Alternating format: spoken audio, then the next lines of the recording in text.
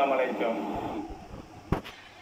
கனரா வங்கி நமதூர் கனரா வங்கியை பற்றி பொதுமக்கள் வாடிக்கையாளர்கள் தினமும் சொல்லக்கூடிய குற்றச்சாட்டுகளை உங்களுடன் பகிர்ந்து கொள்ள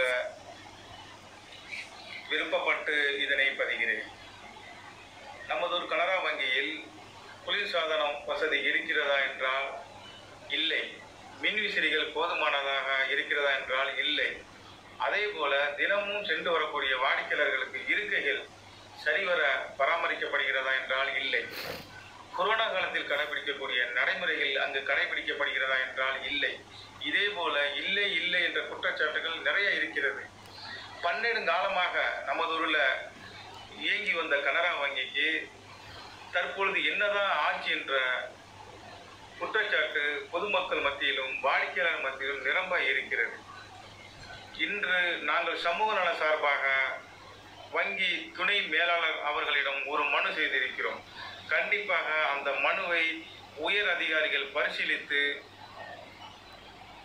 வாடிக்கையாளர்களுக்கும் பொதுமக்களுக்கும் எந்த விதமான இடைவுகள் இடையூறுகள் இல்லாமல் வசதிகள் செய்து கொடுக்குமாறு மிகவும் தாழ்மையுடன் கேட்டுக்கொள்கிறோம். அஸ்ஸலாமு அலைக்கும்.